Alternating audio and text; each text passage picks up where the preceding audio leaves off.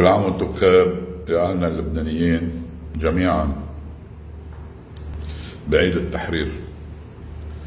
الأهم هلأ هو انه نحرر نفوسنا ونرجع نجتمع لحتى نبني وطننا ومشان أولادنا بعد اللي وصلوه لهون مجموعة الحرامية اللي استغلوا ما بعد التحرير لوصلوا سرقوا البلد كله ونهبوه وتركوا آه، فتات يعني وتركوا لنا وطن آه، عايشين فيه بيصيروا يتفلسفوا ويحكوا إنه إنه إنه هن عملوا شيء. هن وصلوا الوطن للي وصلنا له اليوم مشتت مأفلس آه، ما في ولا ولا بارقة أمل عند اللبنانيين. وبالتالي بالتالي معركة الحرب ضد الفساد أهم وأخطر. ومين؟ للأسف يعني في شيء اسمه عهر من طهر التحرير اجانا عهر رياض سلامه هذا العاهر رياض سلامه المجرم. بيطلع على بي بي بي بي قبل قبل التحرير بنهار لأنه فكر إنه جلسة مجلس النواب وبعد ما مجلس جلسة مجلس النواب الحكي إنه استرد استردت المجموعة المذهبية الطائفية روحها بإدارة العمل السياسي وتأليف حكومة وتعلية سقف وهذا كأنه كأنه اللبنانيين كلهم سألانين عنه. أخذ روح قال اطلع. وصار يكذب الكذاب. أنت كذاب يا رياض سلامة. أنت معك مصاري تدفع 25 دولار للمودعين؟ وليه ما عملت قبل يا حرامي يا لص يا تافه يا سخيف يا خبيث؟ شو بدك؟ ما بقى ما بقى في كلمة تنقال عنك. أنت معك مصاري تردهم للمودعين؟ بس مش الحق عليك.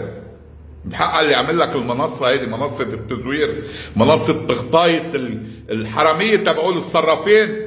غطيتوا لهم تبييض الأموال تبعهم. منصة منصة مين يا رياض سلامه بتعلوا تعلوا الدولار مع هول الحرامية الصرافين محلات الصيرفة. لك إيه يهجموا عليكم محلات الصيرفة؟ قال بيحتجوا لأنه هجموا على واحد صراف حرامي من المافيا تبعهم. تعلوا السعر بصير 13 وبعدين بتفوت بتقول المنصة الرسمية السعر 10000 وأي قانون وأي اي ضمير وأي ناموس أنتم عم تشتغلوا فيها يا يا واطيين. رياض سلامه حتكذب على الناس؟ ما معك ولا فرانك أنت. وإذا فكرك تخلص حالك أو مثل ما قلت استقوات بالأمريكان بالفرنسيه وهول الخزمتشيين اللي عندهم هون كثير غلطان.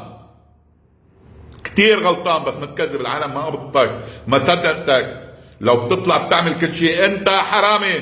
أنت وصلت البلد لهون. أنت اللي خليت الناس يخسروا مصرياتهم. أنت اللي عملت مؤامرة على النقد الوطني وصلته لهون. هلا ما بقى فيك تطلع منها يا لبنانية ما بقت تروحوا يمين وشمال وهول الثوار واللي عم بيحاربوا الفساد اهجموا على البنك المركزي وعلى رياض سلامة. هيدا الأساس رياض سلامة الحرامي الأكبر. أي واحد بيقدر يستناوله لرياض سلامة سواء مسؤول أو غير مسؤول بيكون خلص الشعب اللبناني من أكثر واحد حرامي فيه. هلا بتقولوا لي عم بحكي حكي هيك لا هذا رح تصير. وما تصدق يا رياض سلامه إنك تقدر تضمت حالك. برجع بقول لك الحساب جاي. مش مع هول القضاة بيروحوا بيلحقوا الناس المعترة هذا هدول هالكذابين. لهم لهم كلام تاني.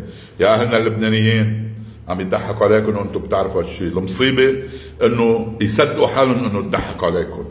ويعطيكم العافية.